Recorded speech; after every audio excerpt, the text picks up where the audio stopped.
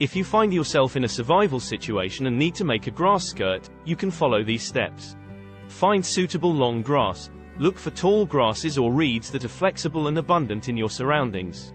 Ideally, the grass should be long enough to reach at least your knees.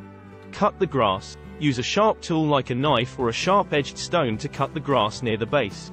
Cut a bunch of grasses together, making sure the lengths are relatively uniform. Remove excess leaves. Strip off any excess leaves or branches from the grass, leaving only the long, thin stems.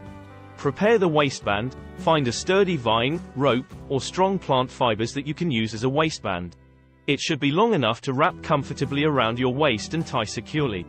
Attach the grass to the waistband, take a handful of the prepared grass stems and fold them in half. Place the folded end over the waistband, with the loop facing downward. Pass the loose ends of the grass through the loop and pull tightly to secure it.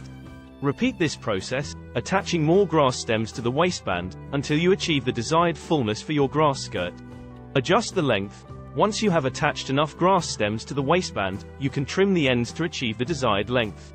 The grass skirt should ideally hang around knee length or slightly longer.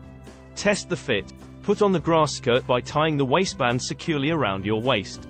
Ensure that it fits comfortably and doesn't restrict your movement. Remember, a grass skirt made in a survival situation may not be as durable or long-lasting as a professionally made one. It's primarily a makeshift solution to provide some coverage and protection.